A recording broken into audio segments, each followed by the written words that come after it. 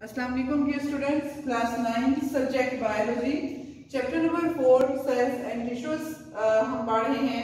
So we were discussing about tissues आज हम muscle tissues के बारे में पढ़ने जा रहे हैं कि मसल टिश्यूज क्या है, कितनी तरह के होते हैं, और ये हमारी बॉडी में कहाँ पे पाए जाते हैं.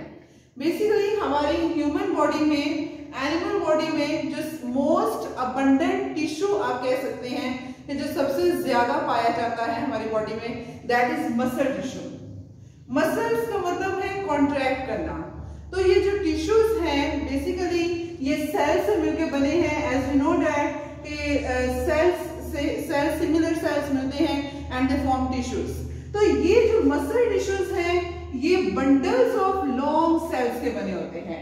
इनके जो सेल्स हैं, वो लंबे लंबे इनके सेल्स होते हैं लॉन्ग सेल्स होते हैं और बंडल्स ऑफ़ लॉन्ग सेल्स मतलब मसल फाइबर्स फाइबर्स की फॉर्म में जो जो प्रेजेंट होते हैं, जब वो मिलते हैं तो दे फॉर्म मसल टिश्यूज इनकी एबिलिटी होती है मसल टिश्यूज की, कि ये कॉन्ट्रैक्ट कर सकते हैं। जैसे हमारा हार्ट है, जब हमारा हार्ट बीट कर रहा है तो there there are you know certain kind of contractions and relaxations in the walls of our heart या उसके अलावा हमारे, हम, हमारी बोन्स हैं, ये कॉन्ट्रैक्ट और रिलैक्स कर रही हैं जब हम इन्हें स्ट्रेच करते हैं, जब हम इन्हें इन्हें कॉन्ट्रैक्ट करते हैं, या उसके अलावा हमारे बहुत सारे बॉडी ऑर्गेन्स हैं एलिमेंट्री केनाल है, हमारा स्टमक है, हमारी ब्लड वेसल्स हैं एसोफिकस है यूरिनरी ब्लडर है तो ये भी सब कॉन्ट्रैक्शन शो करते हैं। सो so, ये जो मसल टिश्यूज हैं बेसिकली ये मसल टिश्यूज क्या करते हैं? इनका काम क्या है? कि they have the ability to contract इनकी इन टिश्यूज के जो सेल्स हैं they have ability to contract और जब ये कॉन्ट्रैक्ट करते हैं रिलैक्स करते हैं तो तब they perform certain kind of actions in our body तो हम देखते हैं मसल टिश्यूज कितनी तरह के होते हैं? मसल टिश्यूज में जैसे मैंने आपको बताया कि लॉन्ग सेल्स होते हैं मसल फाइबर्स की फॉर्म में। अब कुछ में ये होता है, कुछ मसल टिश्यूज ऐसे होते हैं, कुछ मसल के टाइप्स ऐसी होती हैं जिन्हें ज़्यादा कॉन्ट्रैक्शन शो करनी होती है। जिनको स्ट्रॉन्ग यू नो आप ये कह सकते हैं कि वो ऐसे ऑर्गेन्स को घेरे होते हैं या ऐसे हिस्सों को घेरे होते हैं जहाँ पर हार्श जैसे एक्सरसाइज हम कर रहे हैं तो हमारी बोन्स बहुत ज़्यादा यूज़ हो रही है एक्सरसाइज में। हम अपनी बॉडी को कॉन्ट्रैक्ट कर रहे हैं अपने बाजों को हिला रहे हैं तो ये बोन्स और जॉइंट्स बहुत ज़्यादा यूज़ हो रहे हैं। सो so, इनके लिए स्ट्रॉन्ग मसल्स जो है वो होते हैं उनमें उनके जो सेल्स हैं वो स्ट्रिएटेड होते हैं। तो सबसे पहले मसल टिश्यूज की टाइप है स्केलेटल मसल्स नाम से पता चल रहा है स्केलेटन मीन स्केलेटन स्केलेटन को हम क्या क्या कहते हैं? Bones skeleton is made up of bones तो इसका मतलब स्केलेटन मसल्स जो हैं सिंपल इज़ दैट कि ये मसल्स किन को घेरे हुए हैं, ये मसल्स किन के गिर्द होंगे, ये मसल्स होंगे बोन्स के गिर्द. ये मसल्स बोन्स को इन मसल्स ने कवर किया होगा. बोन्स के साथ ये मसल्स अटैच होंगे. हम स्केलेटल मसल्स को दूसरा नाम स्ट्रिएटेड मसल्स का देते हैं. स्ट्रिएटेड मींस स्ट्रिप्ड लेयर कि इन मसल्स में ये जो सेल्स हैं, ये स्ट्रिप्ड होते हैं. इन सेल्स में लेयर्स पाई जाती हैं. जैसे मैंने आपको अभी बताया है कि because they have the ability to contract and they are attach to bones जिन, जो और एक्सरसाइज में यूज़ हो रहे हैं so these muscles should have to be strong तो इस वजह से ये जो मसल्स हैं, ये स्ट्रिएटेड होते हैं, ये स्ट्रिप्ड होते हैं। इनमें लेयर्स पाई जाती हैं ताकि ये इजिली कॉन्ट्रैक्ट कर सकें और ये टूट ना सकें इस वजह से। तो इनके जो सेल्स हैं, एक हमने बात की कि एक तो ये बोन्स के साथ अटैच है, दूसरा ये स्ट्रिएटेड है और इनके सेल्स में मोर देन वन न्यूक्लियस पाया जाता है। जैसे हम देख रहे हैं कि मोर देन वन न्यूक्लियस पाया जा रहा है इनके सेल्स में और सिंपल हमने ये कहा कि इनका काम क्या है? They are responsible for the movement of bones हमारी बोन्स को मूव uh, करवाना है। uh, जैसे हम बोन्स को मूव करवा रहे हैं हमारे जॉइंट्स मूव कर रहे हैं हमारे शोल्डर जॉइंट्स जिनको हम बाल एंड सॉकेट जॉइंट कह रहे हैं हमारे नी के जॉइंट्स हैं जिनको हम हिंज जॉइंट कहते हैं। तो जब हम अपने जॉइंट्स को मूव करवाते हैं तो we need muscles for that तो उनको जो, मूव करवाने में हेल्प आउट कर रहे हैं they are skeletal muscles skeletal muscles again आपको बताती हूँ कि स्ट्रिएटेड मसल्स हैं स्ट्रिएटेड स्ट्रिप्ड मसल्स हैं लेयर्ड मसल्स हैं इनके जो सेल्स हैं इनके जो फाइबर्स हैं उनमें बहुत सारी लेयर्स पाई जाती हैं स्ट्रिप्स पाई जाती हैं because they have the ability to contract तो ये स्ट्रॉन्ग मसल्स हैं इस वजह से इनमें लेयर्स पाई जा रही हैं। और दूसरा हमने कहा कि इनके जो सेल्स हैं इनमें मोर देन वन न्यूक्लियस पाया जाता है। The next is smooth muscles smooth भी बहुत ज़्यादा सॉफ्ट विदाउट एनी आप कह सकते हैं कि इनमें कोई भी और uh, वो नहीं होती uh, ये बिल्कुल स्मूथ है विदाउट एनी फ्रिक्शन तो हम स्मूथ मसल्स कहाँ पे देखते हैं? अगर हम देखें तो हमारी जो एसोफिगस है can we control the bolus the food that goes into the oesophagus no जो ही फ़ूड हमारे एसोफिगस में जाती है, ये मूव करती जाती है नीचे।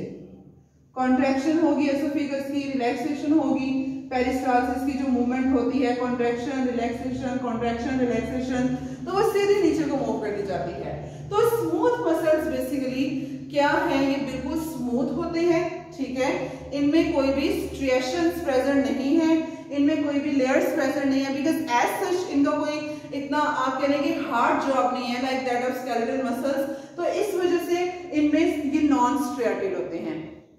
नॉन स्ट्रिएटेड होते हैं और इनके जो सेल्स हैं, उनमें सिंगल न्यूक्लियस पाया जाता है। स्मूथ है बिल्कुल, कोई स्ट्रेशन नहीं पाई जा रही, और दूसरा हमने कहा कि इनके जो सेल्स हैं, इन सब में सिंगल न्यूक्लियस पाया जा रहा है। हमारी एलिमेंट्री केनाल है। Alimentary canal that is oesophagus stomach intestine large intestine वो एलिमेंट्री केनाल में आ रहे हैं स्टार्टिंग फ्रॉम द माउथ तो वो सारी हमारे यूरिनरी ब्लैडर है। या उसके अलावा हमारे जो ब्लड वेसल्स हैं, उनको इन मसल्स ने घेरा हुआ है। और इन मसल्स का काम, जैसे मैंने आपको बताया, कि ये इनवॉलेंट्री मसल्स होते हैं। We can not control they are not under our control हम स्केलेटल मसल्स को कंट्रोल कर सकते हैं। हम अपनी बोन्स जो हैं इनकी movement that is under our control if you want to move them तो वी विल मूव तो इस वजह से जो स्केलेटल मसल्स हैं, ये वॉलेंट इनवॉलेंट्री होते हैं. सॉरी वॉलेंट्री होते हैं. वॉलेंट्री मीन जो अंडर आवर कंट्रोल है, जो हमारे कंट्रोल में है. लेकिन जो स्मूथ मसल्स हैं, ये इनवॉलेंट्री हैं. जैसे मैंने आपको बताया कि जो ही फ़ूड आपकी एसोफिगस में जाती है तो you can not control that the movement of that food आप ये नहीं कर सकते कि मैं इसको एसोफिगस से पकड़ के बाहर निकाल दूँ. ऐसा नहीं है बिकॉज़ वो फ़ूड स्मूथली एसोफिगस स्टमक में स्टमक से small intestine then large intestine then it goes to anus and then out of the body वो स्मूथली जो है वो मूव कर रही है। तो ये स्मूथ मसल्स जो पाए जाते हैं, इसलिए वो स्मूथली मूव कर रही है। नेक्स्ट हमारे पास है कार्डियक मसल्स नाम से पता चल रहा है कार्डियक मीन हार्ट तो इसका मतलब ये मसल्स कहाँ पे प्रेजेंट होंगे? हार्ट में प्रेजेंट होंगे। अब अगर ये हार्ट में प्रेजेंट है तो आपको पता है, हार्ट जो है ये कॉन्टिन्यूसली पंप कर रहा है रिलैक्स कॉन्ट्रैक्ट इसकी वॉल्स हो रही हैं। तो इसका मतलब ये है कि ये भी कॉन्ट्रैक्शन शो करता है हार्ट स्केलेटल तो उसकी तरह जो कार्डियक मसल्स हैं, हार्ट के मसल्स हैं, वो भी स्ट्रिएटेड होंगे, वो भी स्ट्रिप्ड होंगे। क्यों स्ट्रिप्ड होंगे, क्यों स्ट्रेटेड होंगे? बिकॉज़ उन्होंने हमारे हार्ट को घेरा हुआ है कवर किया हुआ है जो कि कॉन्टिन्यूसली रिलैक्सेशन शो कर रहा है और फ्रिक्शन भी वहाँ पर हो सकती है। वैसे फ्रिक्शन को रिड्यूस करने के लिए तो उसमें पेरिकार्डियल फ्लूइड होता है दैट इज़ अनदर टॉपिक तो लेकिन कार्डियक मसल्स जो है, ये स्ट्रियाटिक मसल्स हैं। ये इनमें स्ट्रियाटिक है, लेकिन फ़र्क क्या है कार्डियक और स्केलेटन का? कि स्केलेटन में स्ट्रियाटिक थे और न्यूक्लियस ज़्यादा पाए जा रहे थे। लेकिन कार्डियक मसल जो है, ये स्ट्रियाटिक तो है, लेकिन हर मसल में एक न्यूक्लियस पाया जाता है। तो कार्डियक मसल जो है ये हमारे हार्ट को जो है वो घेरे होते हैं कवर कर रहे होते हैं हार्ट मसल्स को साथ अटैच होते हैं और कार्डियक मसल्स जो है ये भी हमारे कंट्रोल में नहीं है तो इस वजह से ये भी इनवॉलेंट्री होते हैं। तो स्केलेटल मसल्स वॉलेंट्री हैं, बाकी जो स्मूथ मसल्स और कार्डियक ये दोनों हमारे पास इनवॉलेंट्री इन एक्शन है कि they are not under our control हम फ़ूड को कंट्रोल नहीं कर सकते when it stomach and intestine small and esophagus तो इस वजह से क्योंकि उसको स्मूथ मसल्स ने घेरा हुआ है तो वो uh, एक स्मूथली कॉन्ट्रैक्शन और रिलैक्सेशन हमारे फ़ूड ने शो करनी होती है।